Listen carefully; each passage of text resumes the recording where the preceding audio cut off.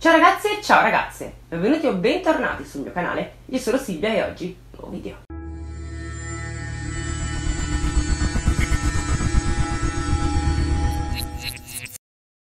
Come al solito ragazzi vi ricordo che se vi va potete seguirmi su Instagram, detto questo Andiamoci dietro quel video. Ragazzi, oggi sono qui per parlarvi di un altro caso che si è potuto sviluppare solo grazie a internet e dagli incontri online. Onestamente, più vengo a conoscenza di queste cose, più mi consiglia di stare lontani da questa applicazione e da questi siti. Oppure di essere perlomeno certi o certe al 100% sull'identità della persona con cui state chattando. Questa storia non è del tutto a lieto fine. Un pochino sì, ma c'è sempre quell'amarezza che continua a rimanere, almeno per me, al pensiero che così tante donne uomini, ragazze, ma anche ragazzi, siano caduti nella trappola del pensare che conoscere qualcuno online equivalga a conoscerlo nella vita reale. Non è così. Su internet puoi essere davvero chi vuoi, come vuoi e quando vuoi. Puoi fingerti un uomo o una donna di successo, anche se vivi in una roulotte sgangherata e campi con due spicci al mese. Ovviamente questa affermazione non vuole condannare chi vive alla buona, un profondo rispetto per tutti, anche per i fuori di melone seriali, in quanto, come sapete, cerco sempre di vedere il lato umano di queste persone. Quindi mi spingo a raccontarvi il loro passato, cerco di capire e di riportarvi cosa le hanno portate alla deriva. Nonostante le loro gesta siano atroci, su questo non ci piove.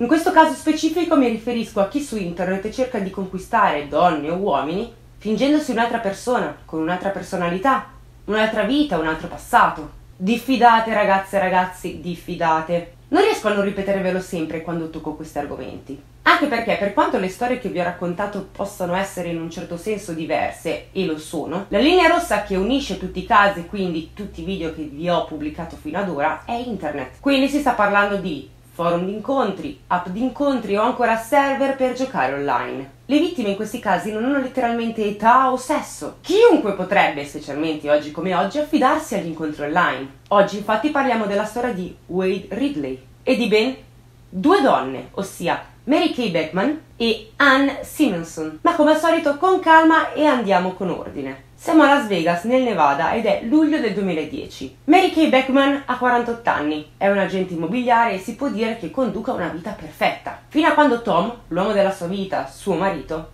viene a mancare per un infarto. A Mary Kay si spezza letteralmente il cuore. Tom era tutto per lei, in quanto i due erano complici sì nella vita privata, ma anche nel lavoro. Infatti Mary Kay e Tom gestivano un'agenzia immobiliare. Adesso però Mary Kay deve riuscire a portare avanti da sola l'attività. Mary lavora con grande passione, l'intera agenzia dipende da lei e in quel momento non ha davvero voglia di frequentare un uomo. Non solo perché, insomma, la mancanza di Tom si sente, ma anche perché la sua vita è davvero alquanto impegnata. Il tempo passa e ad un certo punto Mary Kay sente che nella sua vita va tutto bene, ma c'è una mancanza. Manca la presenza di un uomo accanto a lei. Tom, suo marito defunto, era alla sua spalla ed ora si ritrova a riscaldare cibi precotti nel microonde perché lavora tanto, si sente sola e spaventata. Insomma, la donna sta presentando tutti i sintomi di qualcuno che sta vivendo un lutto. Passa di nuovo un mese e Mary Kay si rende conto di essere circondata da coppiette felici. Anche le pubblicità in tv fanno riferimento ad incontri online, parlano di iscriversi sul sito X o Y per trovare l'amore e vivere tutti felici e contenti esattamente come nelle fiabe. Peccato che la vita non sia una fiaba. La donna si ritrova spesso immersa in discussioni che parlano di matrimonio, amore e felicità, in quanto nel suo lavoro incontra davvero parecchi acquirenti. E molti sono giovani, hanno degli obiettivi che ovviamente gli raccontano, in quanto Mary Kay è un'ottima venditrice, non si limita solo a vendere case, ma ascolta anche bene i suoi clienti per capire cosa potrebbe offrire loro, quale potrebbe essere una casa più vantaggiosa rispetto a un'altra. Diciamo che gli acquirenti alla fine stringevano una sottospecie di rapporto, non dico stretto, ma di conoscenza con Mary Kay. E in effetti lei è molto felice di questo risultato perché vuol dire che sta facendo bene il suo lavoro, però dentro sente sempre un palese vuoto. Le manca Tom, ma le manca anche un uomo in generale. A quel punto Mary Kay pensa che anche lei voglia rimettersi in gioco, insomma. Pensa che in un futuro potrebbe ritrovare davvero l'amore e la felicità ed è così che decide di cercare la sua metà proprio su internet. La donna si iscrive al sito di incontri più famoso degli Stati Uniti, ossia Match.com. Mary Kay compila il questionario del sito, quindi compila il suo account, dicendo di avere 48 anni e di amare tantissimo il golf. Sottolinea che ogni volta che può va a giocare, odia il fumo, ha i capelli biondo rame ed è in cerca di un uomo. Mary Kay ci ha pensato davvero tanto prima di fare questo passo. Non era troppo sicura inizialmente di voler conoscere altri uomini. Inizialmente si sentiva anche un po' in colpa, ma effettivamente era passato diverso tempo dalla dipartita di Tom e la donna sentiva davvero il bisogno di avere nuovamente qualcuno a suo fianco. Era una donna di successo, non le mancava niente, aveva degli amici, mancava solo l'amore. Mary Kay quindi si iscrive a Match.com e si ritrova, dopo essersi iscritta, a profili di circa 15.000 uomini che stanno cercando l'amore proprio come lei. E quindi Mary cosa fa? Inizia a frequentare diverse persone. Si limita ad uscire con parecchi uomini ad un singolo appuntamento per poi cestinarli sempre in pratica. Mary Kay vede davvero tanti uomini diversi, alcuni sono addirittura dei tipi molto molto particolari, ma non si spinge neanche mai a dargli un bacio, semplicemente esce per conoscerli. E in effetti Mary Kay ha la possibilità di incontrare parecchie persone perché è anche una bella donna, ma non trova nessuno che le piaccia o che la convinca a portare avanti la conoscenza. Insomma, in breve, Mary Kay non trova nessuno che le fa nuovamente battere il cuore, ed è quello che la donna ricerca.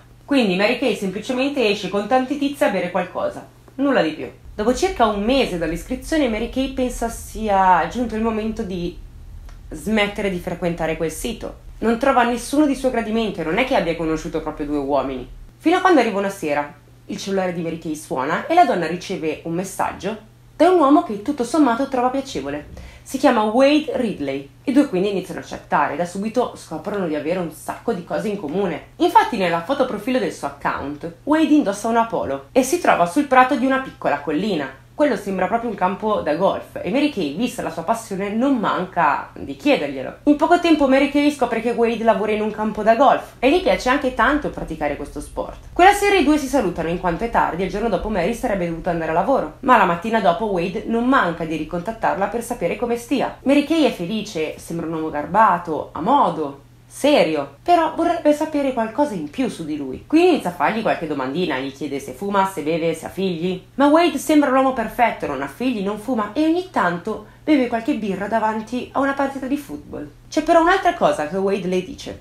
Le dice che è stato sposato, poi è divorziato ed è diventato il patrigno della figlia della sua ex moglie. I due si sentono quindi tutto il giorno. Wade le dice che si era trasferito da poco a Las Vegas e dopo il divorzio aveva frequentato una donna di Phoenix che faceva il suo stesso lavoro. Ora, l'ex fidanzata di Phoenix di Wade si chiama Anne Simonson e Mary Kay non sa che loro due hanno più cose in comune di quanto lei creda. Anne fa l'agente immobiliare, proprio come Mary. Ha i capelli biondo ramati, proprio come Mary. E infine, ciliegina sulla torta, Wade ha conosciuto Anne esattamente come ha conosciuto Mary, ossia tramite un sito di incontri. A questo punto Wade è riuscito a fare colpo su Mary Kay, quantomeno online, ed ora vuole passare al lato pratico, quindi le chiede di uscire. È il 26 settembre del 2010 quando Mary Kay compie quel passo e decide quindi di incontrare il suo ammiratore online dal vivo, ossia Wade. Mary tuttavia non è una donna sprovveduta e contatta sempre Teresa McBain, che è una sua grande amica e collega, per informarla su chi avrebbe dovuto incontrare e su dove sarebbe andata.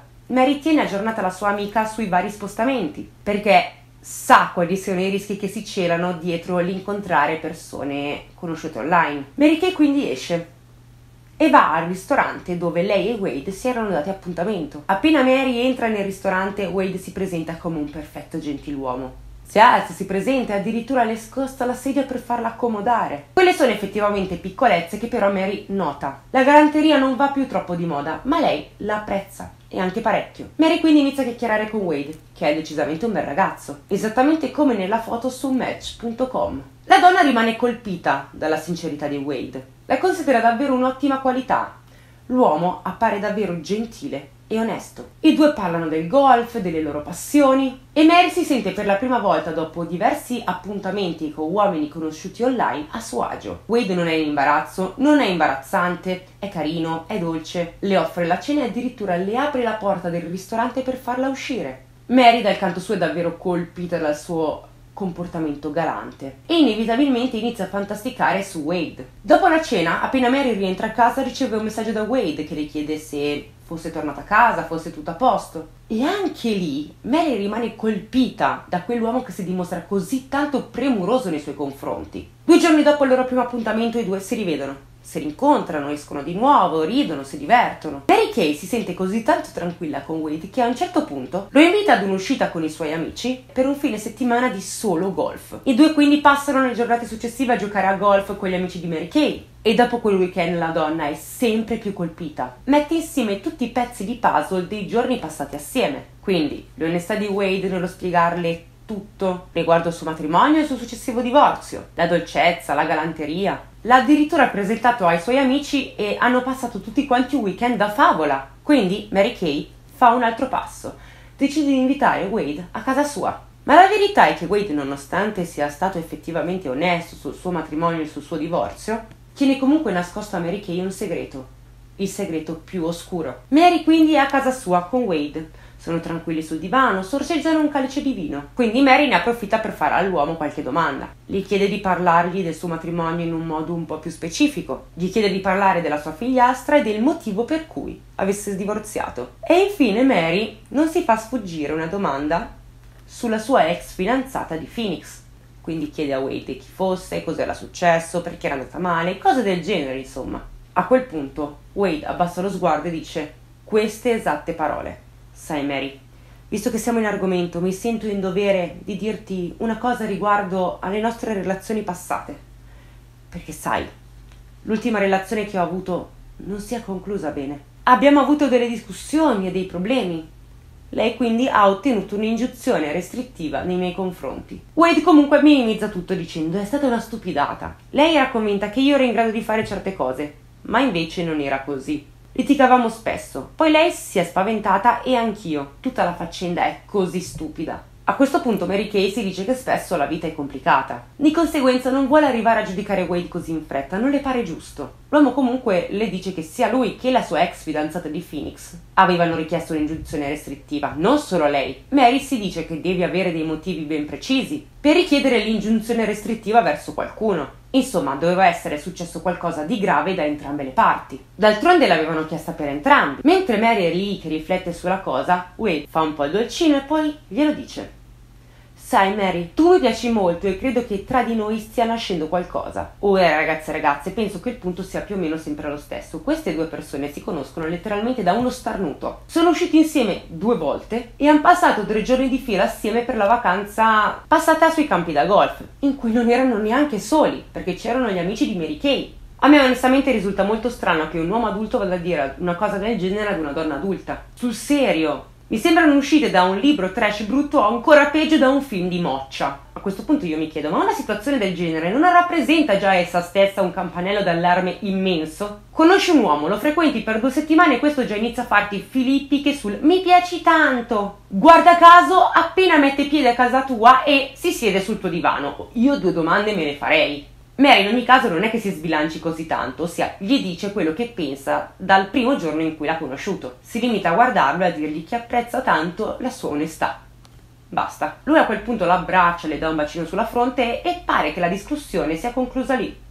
I due si salutano e Mary effettivamente riflette molto sulla situazione, arrivando alla conclusione che se qualcuno non ti nasconde il suo passato e ti racconta di sua spontanea volontà non solo le cose belle ma anche le cose brutte, non solo le cose giuste ma anche quelle sbagliate, allora questo la dice lunga sul suo carattere. È una persona affidabile, almeno secondo Mary Kay. I giorni quindi passano, i due passano del tempo assieme, fino a quando non arriva una mattina. È domenica e Wade e Mary sono in cucina assieme perché stanno preparando il pranzo. Ad un certo punto il cellulare di Mary squilla, lei fa per rispondere. Nel frattempo Wade la osserva, la scruta e poi lentamente si avvicina a lei alle sue spalle e poi le chiede di colpo con chi stai chattando? Mary Kay risponde in modo naturale è solo un cliente spesso dei clienti mi mandano dei messaggi per avere delle informazioni il tono di Wade a questo punto si fa sospettoso la guardia le dice ah perché? Ti scrivono di domenica? Mary Kay a quel punto cerca di sviare la domanda perché si rende conto che è semplicemente una stupida scenata di gelosia che non ha né capo né coda. Ma Wade insiste,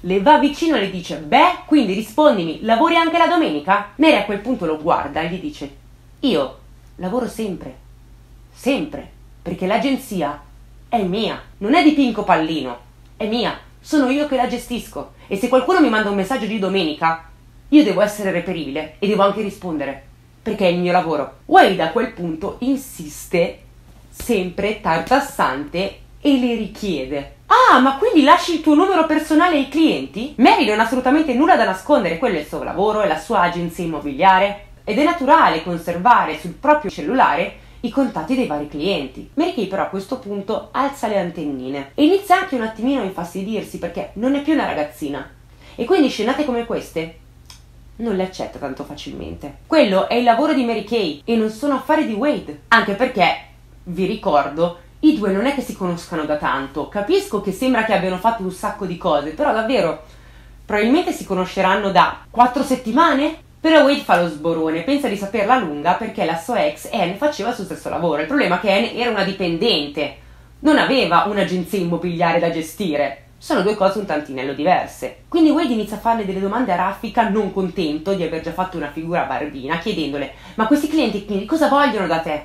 Perché hanno il tuo numero personale? Non hai un ufficio, ce l'hai, no? E allora perché non ti contattano lì, durante le ore di lavoro? A quel punto Mary si gira, lo guarda intorno alquanto seccato e gli dice: Prima di tutto mi chiamano perché sono clienti e vogliono sapere cose da clienti. In secondo luogo, sì, io ce l'ho l'ufficio, ma se qualcuno vuole reperirmi il weekend, può farlo tramite il mio telefono personale. E poi ribatte dicendo: L'unica cosa che mi chiedono i clienti sono i prezzi sulle case, delle informazioni sulle case e cose del genere. Di certo non mi vengono a raccontare i loro segretini. Mary Kay è davvero davvero infastidita, quindi che cosa fa? Fa finta di niente, dice di dover andare in bagno, va in bagno, apre l'acqua del rubinetto per far scorrere l'acqua e poi inserisce un pin sul suo cellulare. Wade a questo punto non può neanche per sbaglio spiare le sue conversazioni in caso magari Mary lasci per casa il suo cellulare incustodito. A questo punto Mary si sta rendendo conto che il comportamento di Wade è un po' troppo invadente, però vuole ancora dargli il beneficio del dubbio. Quella domenica comunque i due dovevano uscire, quindi fanno finta di niente, escono, ma pare che la complicità presente solo la sera prima, ora non ci sia più. Mary Kay per quella domenica ha organizzato una cena con la sua amica Teresa e suo marito Mike al golf club. Appena Wade e Mary Kay arrivano, Wade chiede immediatamente a Mary Kay di passarle il cellulare perché sostiene di voler controllare il risultato di una partita. I due sono ancora in macchina e Mary a questo punto gli risponde guarda che posso farlo io, non c'è problema. Ma Wade continua a dirle no, no Mary, non ti preoccupare, lo faccio io, ci penso da solo, non sai in che sito andare, dammi il telefono, dammi il telefono.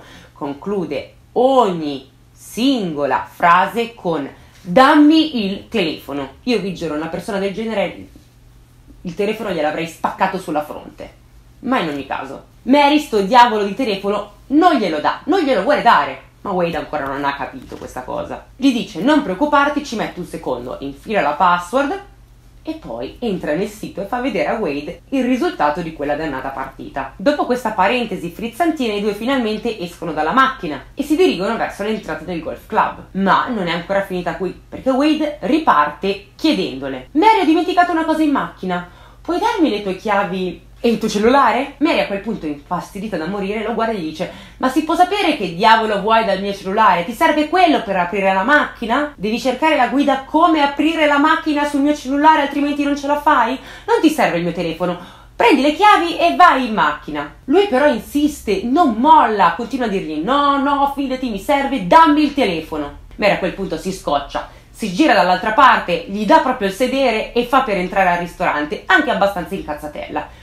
Lui addirittura la strattora per un braccio e ancora osa dirgli dammi il telefono. Lei lo guarda e gli dice no, smettila. Lo allontana con una spintarella e si dirige all'interno del ristorante. Entrate nel ristorante Mary è consapevole di una cosa, ne è sicura. Quella sarebbe stata l'ultima serata che avrebbe passato con Wade, in quanto il suo comportamento non andava affatto bene. Mary Kay comunque non vuole rovinare la cena, quindi fa finta di nulla. Entra nel ristorante e saluta calorosamente i suoi amici, per poi bisbigliare alla sua amica che lei e Wade avevano litigato. Come vi ho già detto, Mary non vuole rovinare la serata a nessuno, quindi fa finta di nulla.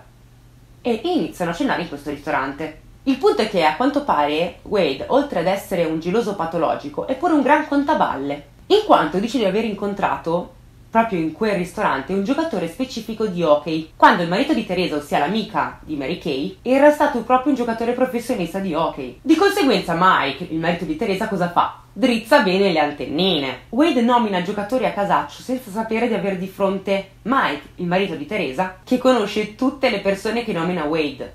Tutte nessuna esclusa. E mica è scemo Mike, è consapevole che Wade non può conoscere quelle persone, altrimenti si sarebbero già incrociati in passato, cosa che non è mai accaduta. Ma soprattutto quelle persone non hanno neanche mai per sbaglio nominato un certo Wade Ridley.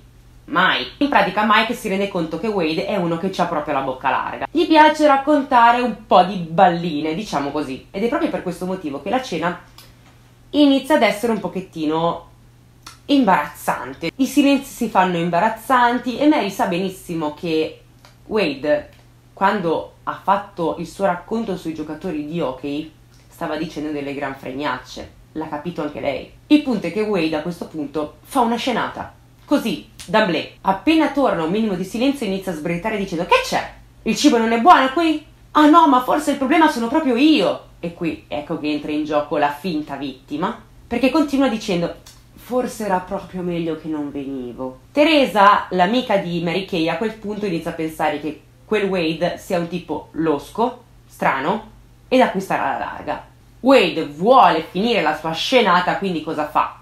Si alza, paga e chiede a Mary di andare via. Mary si scusa con i suoi amici, ma almeno quella serata è servita a qualcosa. È servita a farle aprire gli occhi del tutto. Mary a quel punto è sicura al 100% di voler chiudere i rapporti con Wade. Letteralmente Mary non lo vuole più vedere neanche col binocolo. Tuttavia Mary al ritorno in macchina fa finta di nulla e quando Wade la ricompagna a casa, Mary gli dice che è stata una lunga giornata, l'indomani si sarebbe dovuto alzare molto presto perché aveva un'importante riunione di lavoro e quindi saluta Wade dandogli la buonanotte senza neanche farlo entrare in casa. E questo già è un campanello d'allarme per Wade perché non è mai successo da quando è entrato per la prima volta a casa di Mary, che dopo una serata lei lo congedi in questa maniera, insomma. Mary Kay poi entra in casa, si sistema un attimo, si rinfresca e poi prende la decisione.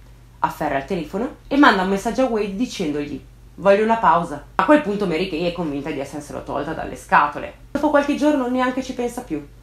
Ed è in questo modo che i giorni diventano mesi e i mesi diventano tre. Mary Kay a quel punto va avanti con la sua vita, continua ad essere molto felice, riprende in mano le redini della sua vita e torna a lavorare con ancora più dedizione, con ancora più voglia di fare. Mary Kay pensa ancora a Tom, ogni giorno. Pensa che sarebbe dovuto rimanere accanto a lei, ma è un pensiero fugace. Alla fine, se Tom se n'è andato, pensa Mary, è perché il destino, o chi per esso, l'ha voluto con lui. Andando avanti, Mary inizia una storia d'amore con un altro uomo conosciuto attraverso il suo lavoro. Mary, insomma, ha capito che è il caso di conoscere qualcuno alla vecchia maniera. Le chat online non fanno proprio per lei. Finalmente Mary è felice, non pensa più a Wade. Ma mentre Mary Kay continua la sua vita come se nulla fosse, Wade Ridley si sente davvero davvero perso. In quei tre mesi Wade non ha né superato né accettato la rottura con Mary Kay. Arriva il 2011 e quello è un anno che per Mary si apre con le migliori premesse. E in effetti fino a circa fine gennaio 2011 tutto va per il meglio. La sua agenzia va alla grande e il tempo libero lo spende passandolo con i suoi amici. A volte guardano insieme un film, discutono di serie tv, escono fuori a bersi una birra, insomma sono un gruppo di amici normali. Ad un certo punto arriva il 21 gennaio. Mary è fuori con degli amici, ma li saluta presto e sale in macchina verso le 21.30. In quanto il mattino dopo avrebbe avuto un appuntamento di lavoro importante, quindi decide di ritornare a casa per poter riposare un po' di più. Arrivata davanti a casa sua, Mary Kay si rende conto che la porta del garage è aperta. C'è qualcosa che non va, perché lei non l'aveva certo lasciata così. Quindi Mary Kay va a controllare e si rende conto che la luce del garage non si accende. Purtroppo Wade la sorprende da dietro le spalle. La fa cadere e inizia ad usare il coltello contro di lei fino a quando non gli si spezza la lama. Dopodiché inizia a prenderla a calci. Quella è davvero un'aggressione estremamente violenta che effettivamente nessuno ha visto, anche se la vicina di Mary Kay ha sentito le sue urla e quindi è andata a controllare. E meno male oserei dire che è andata a controllare, perché Mary Kay non è venuta ancora a mancare. Purtroppo però è in fin di vita. Mary sta per venire a mancare soffocata dal suo stesso sangue. Di conseguenza chiama il 911 e un'ambulanza. Nel frattempo Wade Ridley prende la borsa di Mary Kay e scappa. Wade durante la frequentazione con Mary si è dimostrato eccessivamente geloso, ma questa aggressione è davvero prima di tutto brutale e poi a quanto pare immotivata. Ci deve essere un motivo e il movente probabilmente è qualcosa che Wade ha nascosto a Mary ed ora è ben intenzionata a continuare a colpire e la sua prossima vittima è già ben incisa nella sua testa. Wade guida verso il sud di Las Vegas, mentre Mary Kay è in sala operatoria. Le sue condizioni sono gravi, tanto che i medici non possono garantire la sopravvivenza della donna a genitori, parenti e amici. Mary purtroppo durante l'aggressione ha subito anche dei colpi alla testa che le hanno danneggiato il cervello. Nonostante questo però Mary supera l'operazione e dopo qualche giorno viene dimessa dall'ospedale. A prendersi cura di lei sono i suoi amici. Wade nel frattempo ha lasciato del tutto la città ed ha in mente un altro piano, perché lui ha un affare in sospeso. Nel frattempo Mary Kay viene interrogata dalla polizia per capire l'identità dell'aggressore. La donna però purtroppo soffre di amnesia post-traumatica. Questo significa che non ricorda niente, non ricorda l'identità del suo aggressore purtroppo. Questa situazione la rende anche alquanto frustrata, in quanto si chiede in continuazione perché mai qualcuno l'abbia ridotta in quel modo. Ogni volta che si guarda allo specchio Mary Kay stenta a riconoscersi e davvero non riesce a capire chi possa essere stato a farle così tanto del male. Mary di conseguenza non è in grado di fornire alcun dettaglio e l'aggressione di Mary non ha avuto testimoni. Quindi la polizia si trova davanti ad un caso che appare irrisolvibile, fino a quando sulla scena del crimine la polizia rileva delle prove alquanto importanti. La polizia è sicura che l'aggressione non è stata assolutamente casuale. L'aggressore di Mary, secondo la polizia, è una persona di sua conoscenza e infatti iniziano a interrogare gli amici di Mary Kay. In breve tempo tutti diventano sospettati ma vengono anche scagionati perché non c'era mezza prova contro di loro. Oltretutto c'è anche da sottolineare un'altra cosa. Wade Ridley è solo uno dei tanti uomini che Mary ha conosciuto online e ha frequentato per breve tempo. Non è l'unico. Di conseguenza è davvero davvero complicato risalire a lui. Se col suo account di match.com le avesse inviato qualche minaccia, almeno ci sarebbe stata una mezza traccia da seguire.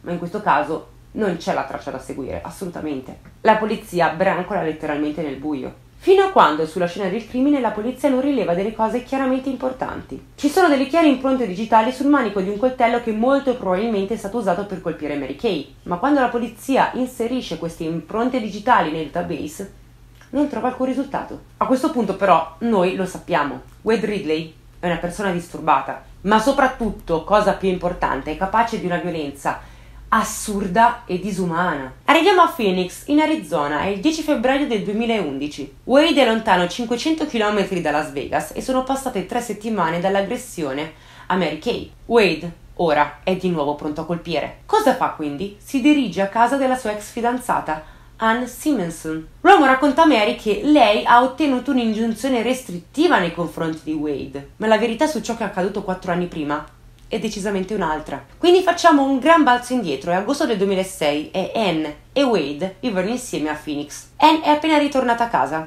Wade la sorprende sul vialetto, chiedendole immediatamente: Dove sei stata? Anne risponde un po' timorosa: Ero fuori con delle amiche, lo sapevi, no? Te l'avevo detto. Wade gli chiede: Ma chi sono queste amiche? Anne lo guarda e cade dal pelo. E infatti dice: Ma sono Sofia e Jennifer, sono le mie amiche da una vita. Anche in questo caso Wade fa una scenata, tira fuori un pinzone gigantesco dal giardino, iniziando a urlare contro Anne: Dove sei stata? Dimmelo, lo so che non sei stata con le tue amiche. Con chi sei stato? Chi è lui? Anna a quel punto si spaventa e preoccupata che il tutto si concluda non nei migliori dei modi. Ma grazie a Dio c'è sua sorella in casa che appena nota la situazione si precipita a prendere una calibro 38 che teneva nascosta esce fuori da casa e la punta verso Wade. Gli intima di allontanarsi, altrimenti avrebbe chiamato la polizia. Anne, dopo un bel po' di tempo, ha il coraggio di raccontare questa cosa al suo nuovo compagno, ossia Glenn Callai. Sappiamo quindi che dopo aver minacciato Anne, quattro anni dopo, Wade torna per vendicarsi. Tanto per cambiare anche lui entra nel garage di Anne, la sorprende, la trascina nella stanza del bucato e poi le toglie la vita. Purtroppo questa volta Wade ha colpito nel modo giusto. Di conseguenza a questo punto Wade cosa fa? Sale in casa, prende un po' di orologi, gioielli, la carta di credito e i vestiti di Glenn, ossia il compagno di Anne. Queste sono di fatto tutte cose che possono essere impegnate in cambio di soldi. Dopodiché Wade sale sull'auto di Anne e si dà alla fuga. La polizia ancora non sospetta di Wade e lui a questo punto ha già un altro piano in mente, tornare a Las Vegas proprio per capire se è riuscito a togliere di mezzo Mary. Però ora c'è anche Glenn, il fidanzato di Anne, e lui l'ha persa. Definitivamente Anne. Di conseguenza vuole scoprire a tutti i costi cosa sia successo ad Anne chi può essersi intrufolato in casa? Insomma, è sempre difficile superare un lutto e infatti Glenn si ritrova a non riuscire più a dormire la notte, a soffrire di insonnia. Ma una notte in particolare Glenn racconta di aver avuto la sensazione quasi che Anne lo stesse chiamando, dicendogli guarda nel computer e lo troverai. In ogni caso, sensazioni o meno, Glenn è in cerca di prove. Quindi accende il computer ed entra nel sito della sua carta di credito, quella rubata da Wade, e scopre dei pagamenti. Glenn riesce a ricostruire il percorso di Wade perché sa che quella carta nelle ultime 10 ore è stata usata per tre volte. Glenn quindi riesce ad individuare il percorso di Wade, in quanto risulta che nelle ultime 10 ore quella carta è stata usata per ben tre volte. Glenn quindi cerca di trovare i posti dove Wade potrebbe averla usata e scopre che si era fermato a fare benzina ed era diretto a nord. A questo punto Glenn contatta la polizia di Phoenix che sta indagando sulla dipartita di Anne e dice senza mezzi termini So dove è andato e so dove sta andando. Gli agenti ovviamente gli chiedono come fa ad avere tali informazioni, visto che non lo sanno neanche loro. Glenn risponde, eh beh, Sta usando la carta di credito che mi ha rubato. A questo punto i poliziotti dicono a Glenn: Non chiami la banca, non faccia niente, perché noi vogliamo vedere dove è diretto. Ebbene, Wade sta andando verso Las Vegas, quindi i poliziotti di Phoenix si mettono in contatto col dipartimento di polizia di Las Vegas, spiegando che il veicolo che sta guidando Wade Ridley, il sospettato, era di proprietà di Anne, una donna che è venuta a mancare a causa sua. La polizia di Phoenix è determinata a fermarlo, quindi organizzano un piano. Devono fermare tutti i veicoli come quello indicato dalla polizia, perché alla guida potrebbe esserci il colpevole lo stesso che probabilmente sta usando la carta di credito di Glenn. Di conseguenza Wade è un uomo pericoloso e la polizia deve fermarlo prima che colpisca di nuovo. E così, mentre Mary Kay Beckman cerca di guarire dall'aggressione subita, l'uomo che di fatto l'ha aggredita sta scorrazzando libero nelle strade della sua città. Dall'aggressione di Mary Kay sono passate tre settimane, ma la donna ancora non si ricorda chi possa averla colpito per ridurla in quello stato. Il trauma ha letteralmente bloccato la sua memoria e tutt'oggi sostiene di non ricordare nulla. La mattina in cui Wade ha fatto fuori la sua ex fidanzata Anne Simonson a Phoenix, l'ufficio di Mary Kay riceve una chiamata un po' stranetta, particolare. Wade chiama quindi l'ufficio dell'agenzia di Mary Kay e chiede di poter parlare con una certa Mary. Tutti però in agenzia conoscono Mary con il nome Mary Kay oppure MK. Di conseguenza la segretaria, consapevole della recente aggressione, si insospettisce e dice semplicemente qui non c'è nessuna Mary, mi scusi, e butta giù il telefono. Ebbene, Wade Ridley sta cercando di capire se Mary Kay è ancora in vita oppure no. A seguito della chiamata giunta in ufficio, la centralinista ovviamente avvisa Mary Kay. La chiama e le spiega che ha chiamato un uomo che voleva parlare con una certa Mary e a quel punto tutti quanti vanno in allerta. Quando Mary Kay racconta agli amici la cosa, tutti quanti vanno in allarme. Però sono anche pronti a proteggerla. Sono sempre a casa sua da lei. Fanno addirittura dei turni in modo che Mary Kay non rimanga mai da sola. Intanto sappiamo che Wade è riuscito ad entrare in casa delle sue vittime senza troppa difficoltà e si sta preparando per agire di nuovo. A questo punto cosa fa Wade? Compra un coltello da cucina e su un cartone segna letteralmente la sua lista nera, ossia scrive i nomi delle persone che le avevano fatto stare male e che avrebbe dovuto togliere di mezzo. La prima della lista è Mary Kay, la seconda è Anne Simonson, che però è già fuori dai giochi. Dopodiché Wade segna sulla sua lista la sua ex moglie, il suo nuovo compagno e il suo ex capo. E pensa che presto colpirà per sistemare tutti quanti. Intanto però c'è un problema perché Mary Kay è sopravvissuta e lui deve tornare per concludere il suo lavoro. Nel frattempo gli agenti sono alla ricerca dell'auto di Anne Simonson perché sono sicuri che alla guida ci sia il colpevole. Wade è riuscito a scappare da due scene del crimine, ha passato il confine dello Stato, però la sua fortuna sta per terminare. Un agente infatti si insospettisce vedendo un veicolo targato Arizona, quindi lo insegue e lo fa accostare per un controllo e in effetti alla guida di quell'auto c'è proprio Wade. È il 13 febbraio del 2011 e sono le 4.36 del mattino. Wade non solo aveva già colpito, ma come abbiamo capito ampiamente in questo video, voleva colpire di nuovo. I detective quindi lo arrestano e lo conducono al Dipartimento di Polizia di Las Vegas, dove lo interrogano circa il crimine contro Anne Simonson. Ebbene, l'uomo ammette la sua colpevolezza. E peraltro confessa anche di aver aggredito Mary Kay Beckman, ma è lui che decide di confessare, perché la polizia ancora i due fatti non li aveva collegati. C'è da dire però che la confessione di Wade, il modo in cui confessa, aiuta gli amici e i parenti vicino alle vittime a farsene una ragione, in quanto Wade spiega che era frustrato dal fatto che Mary Kay l'avesse scaricato malamente. Wade sostiene che Mary Kay l'abbia buttato come un sacco della spazzatura, quindi racconta di essersi inferocito perché si è sentito proprio usato. Definisce le sue aggressioni totalmente personali e confessa un altro segreto che in effetti potrebbe essere il motivo scatenante delle sue azioni. Wade, mentre stava frequentando Mary Kay, assumeva dei medicinali per curare il suo bipolarismo e la sua grave condizione mentale. Durante l'interrogatorio, infatti, Wade confessa più volte di aver tentato di farla finita. Quando Mary Kay l'ha lasciato, Wade è andato a San Francisco, dove in effetti ha cercato di togliersi la vita, solo che è stato scoperto, quindi è stato ricoverato in ospedale psichiatrico e rilasciato dopo appena tre settimane. Wade, dopo questa parentesi, quindi è tornato a vivere a Las Vegas e dopo aver rivisto Mary Kay, sostiene di aver deciso di mettere in pratica il piano che aveva immaginato. Wade è un individuo sociopatico, in quanto non prova alcuna emozione nei confronti di ciò che ha fatto. Nel febbraio del 2012 Wade Ridley viene processato nel Nevada e condannato per tentato omicidio ai danni di Mary Kay, ricevendo una condanna non inferiore ai 28 anni e non superiore ai 70 anni di reclusione nella prigione del Nevada. L'uomo in questo caso ha ricevuto il massimo della pena. Arriva poi il 29 aprile del 2012 quando Wade Ridley, poco prima del processo per l'omicidio di Anne Stevenson, si toglie la vita in carcere. Dal giorno della sua aggressione Mary Kay è riuscita a guarire in un modo davvero sorprendente, anche se tutt'oggi sta lottando per superare questo trauma. Questo caso, ragazzi, lo trovate interessante perché continua a vedere nei carnefici delle vittime. Wade per primo era vittima di problemi mentali chiaramente non curati adeguatamente. Di conseguenza mi viene naturale pensarlo come vittima della sua malattia. Il punto, ragazzi e ragazze, è che ha potuto fare davvero tante cose senza neanche essere sfiorato per sbaglio.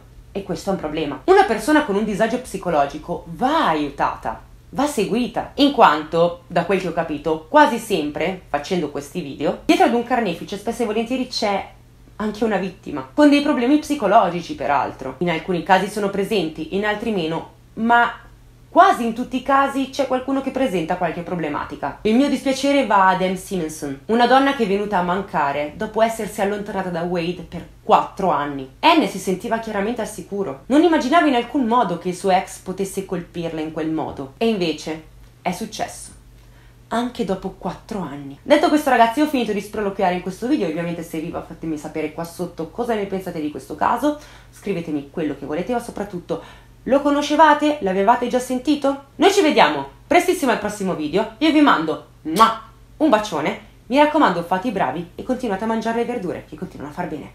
Ciao ragazzi e ciao ragazze!